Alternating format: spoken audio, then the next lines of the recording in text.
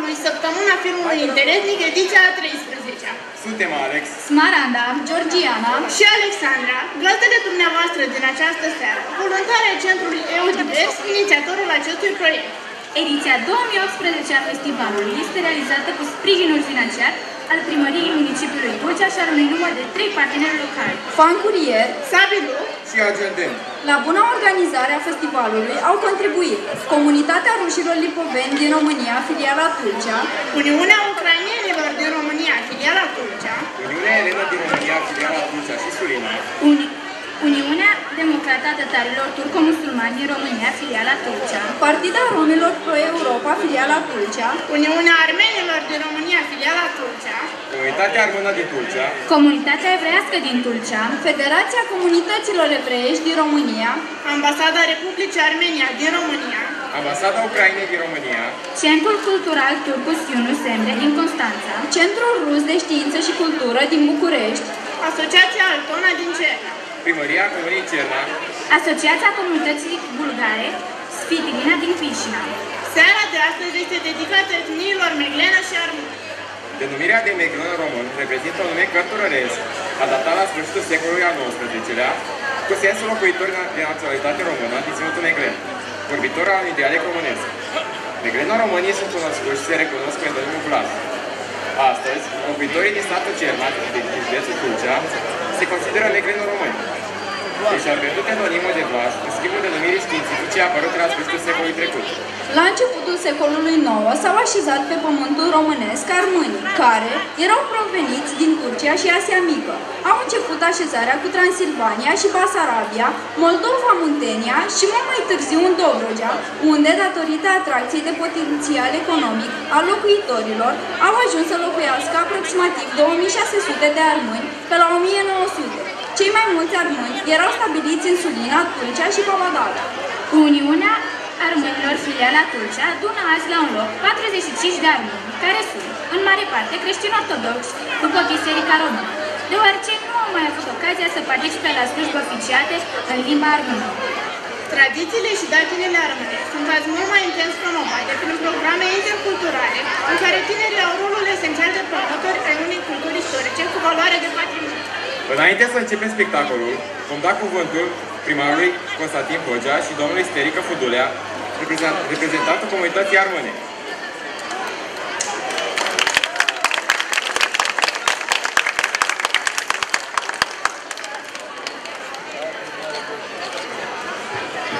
Bună seara și bine ați venit la seara comunității a române și megleno române. Macedă românii, pentru că acesta este filonul până la urmă, cuprind mai multe dialecte și cele prezente la noi în uh, Dobrogea, comunitatea română, care numeric este cea mai bine reprezentată, și comunitatea megleno-română, care în general este, dacă veți, grupată în comuna Cerna și în mai multe zone din țară. Despre comunitatea română și megleno-română nu cred că trebuie să discutăm foarte mult, pentru că îi știm, îi cunoaștem, sunt ai noștri, este o comunitate extrem de ambițioasă, o comunitate harnică, serioasă, orgolioasă și care, până la urmă, are un rol extrem de bine definit în ceea ce înseamnă bunul mers al comunității tulcene în general. Sunt foarte multe talente cu foarte multe valențe din comunitatea română și megleno-română, oameni care au confirmat uh, profesional, social, uh, politic, dacă vreți, artistic și nu numai, deci sunt exponenți de seamă a români în uh, România și din această zonă a patriei cu care ne mândrim. Avem oaspeți de seamă în această seară, o surpriză și pentru mine, un domn pe care îl știu foarte bine din scrieri, dar care, iată, am ocazia să-l văd uh, în carne și oasă, cum se numește. Și un singur exemplu vreau să vă spun, uh, de polivalența unor membri ai comunității a române și am să o invoc pe doamna doctor uh, Corina Elena Badea, foarte cunoscută nouă să spunem în primul rând din calitatea domniei sale de medic, după aceea din calitatea domniei sale de compozitor și de cântăreața a folclorului a român. Și iată, recunosc o surpriză pentru mine în această seară, n-am știut că doamna doctor este și un pictor extraordinar de, de priceput, mi-a dat în această seară un album pentru care îi mulțumesc foarte mult, nu știu dacă e pe aici, doamna doctor, o salut cu respect. Să rămână, să rămână, doamna doctor, un album care urmează să fie expus în foarte multe zone și nu numai ale României. O felicit, este o surpriză plăcută. Iată un exponent, uh, să spunem, polivalent în afară de talentul și dăruirea profesională, cântă și pictează extraordinar. Așa sunt și foarte mulți membri ai comunității pe care noi îi respectăm, sunt până la urmă concitadinii noștri, este o parte a mozaicului multicultural care ne caracterizează și am și spus că dacă noi, cei din această zonă a țării, suntem, să spunem, interesanți și uh, curioși în fața opiniei publice, suntem și pentru că, iată, conviețuim aici în bună pace de secole nu mai puțin de 14 minorități etnice, fiind astfel un uh, exemplu de bună practică, dacă nu cumva dintre cele mai bune exemple de bună practică de conviețuire interetnică din Europa, lucru recunoscut de altfel și apreciat de oficialii europeni. Eu mă opresc aici, vă mulțumesc pentru prezență, felicit toți membrii comunității a Românii, atât prezenți aici, cât și de acasă, și uh, dați-mi voie să-i dau cuvântul domnului președinte al comunității aromene, domnul Stelică Fudulea, ca să-și prezinte domnia sa și invitații și să adreseze și câteva cuvinte. Domnul președinte, vă rog, vă mulțumesc pentru prezență. Mulțumesc, domnule primar. Așa cum ați spus, noi românii suntem și orgolioși și ambițioși și asta a demonstrat-o de-a lungul timpului istoria. Dar prima dată vreau să vă spun bine venit Anamisa de noi, tora seara, Minduiescu, Capă Hârsiți, cu zborul și cu cârticul românescu, pentru că așa e normal la început câteva cuvinte în armânește. Bine ați venit alături de noi și sunt convins că o să vă bucurați alături de noi cu cântecul și uh, cuvântul armânesc.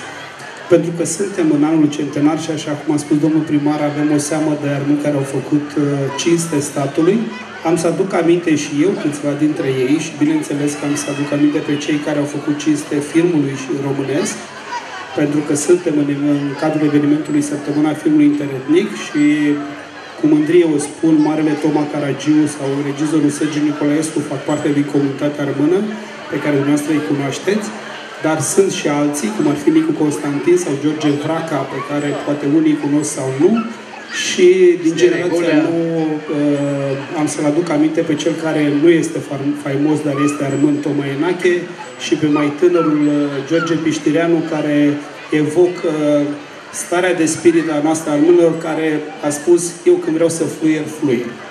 N-am să trec prin uh, armânii celebri din uh, politica noastră pentru că nu e momentul, dar vreau să, vă, să, să vi prezint pe invitatul meu din această seară. Probabil că mulți dintre dumneavoastră se întreabă cine este domnul din dreapta mea, cine este domnul din stânga mea.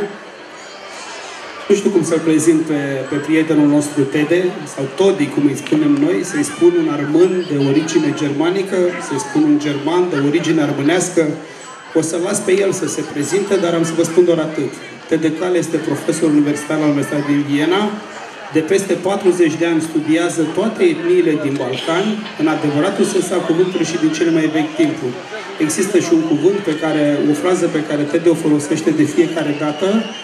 Nu există piatră care să nu mă cunoască pe mine în Grecia și am să vă spun că el lăfește, azburaște și, bineînțeles, achichisește și făcirutește. Pe lângă faptul că vorbește cam orice limbă din, din Balcani. Noi ne mândrim că este uh, alături de noi, că este în rândul familiei noastre, fiind căsătorit cu Maria Bara, o armâncă originară din zona noastră. Am să rog pe Tede să ne spună câteva cuvinte, nu înainte de a spune că dacă vrem să ne păstrăm limba, tradițiile și cultura, lipsește tuți armânii Sibădaima de adun, așa cum spunem noi la comunitate, și în orice altă activitate pe care o desfășurăm în viața de zi cu zi, Trebuie să fim, așa cum mama domnului primar spunea de fiecare dată, armânii daima ca singirle.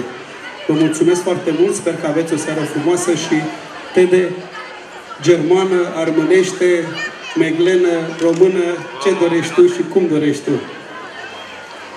Bună seara, einen wunderschönen guten Abend, dobra večer i akşamlar.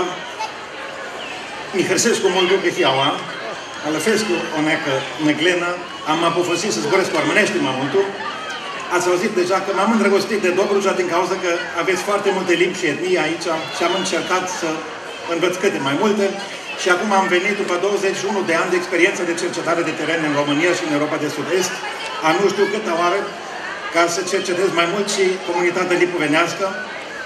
Am început aici cu a românii, din cauza că am urmărit, am urmărit în Grecia și în Albania, prin Bulgaria, am ajuns în Dobruja, unde sunt foarte mulți, unde am fost salat și din 97 am făcut niște uh, interpretări și am scris doctoratul, de fapt, pe baza de cercetările mele în Dobruja și în alte țări balcanice despre a români. Și când văd acum băieții de la uh, Meglena, de la Altona, de la satul Cerna, de unde este domnul primar cu care ne cunoaștem de aproape 20 de ani, am așa o emoție din cauza că atunci cred că a fost cam de prima dată când au ieșit, au ieșit formația lor uh, în, în străinătate și am avut onoare să fac poze cu ei. Am cunoscut și uh, fluierașul la lor, Gheorghe, și am făcut uh, destul de multe înregistrări și mare onoare acum pentru mine că m-ați acceptat, m-ați invitat. Mi cu multul și aveți Artare Festival și am intrat um, ca să am un film interetnic și vă adunați și voi să dar un apel să zburăți limbile și dialectele care le aveți, cum le aveți acasă. Și mi frisesc cu multul când o alac și aoață de Dobruja, le af donică și când o zboresc cu și nițli, ficiorli, cu nica maghetu și nu cu multul mi frisesc. Dar acum am marea plăcere să vă prezint și un coleg de-al meu, pe care l-am cunoscut la noi, la Viena, la studiile lui de doctorat, de masterat, care a terminat, sociolog, antropolog și un mare cercetător de teren, care deschide uși, care iau cu mine acum în Dobrogea și se deschid ușile și lumea vrea să-i povestească și să cânte din cauza că are un patos și iubește muzica. Și cu instrumentele lui, de multe ori când noi la cercetare nu mai avem o temă despre ce să vorbim și pe care am teta să mai facem, scoate el instrumentul, se topește gheața și ne cântă. Și de aia ne-am rugat, l-am rugat să ne cânte și el o melodie și să nu fie astăzi ca cercetător, că noi am cercetat astăzi puțin dialectul din Cogelac, eh, dar să vină cu o singură melodie cu care vreau și eu să vă mulțumesc că m-ați invitat. Seara bună, distracție plăcută.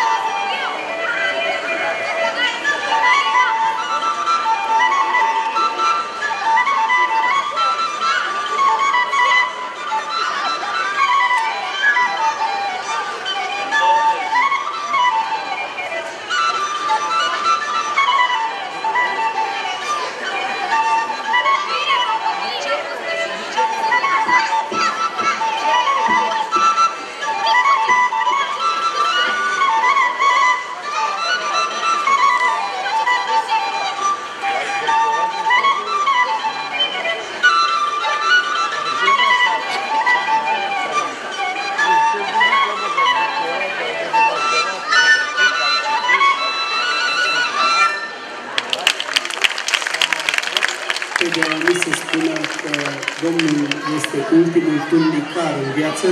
țara moților și îl cheamă Răzvan Roșu. Mulțumim foarte mult!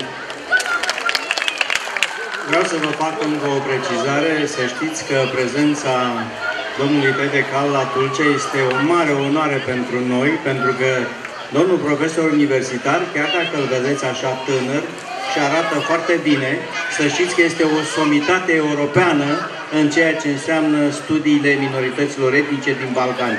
Așadar, să-l aplaudăm încă o dată pe domnul profesor Pede Cal și să-i mulțumim mult pentru prezență.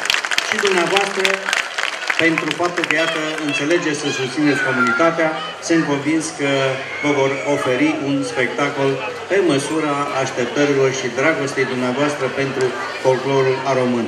Să înceapă spectacolul.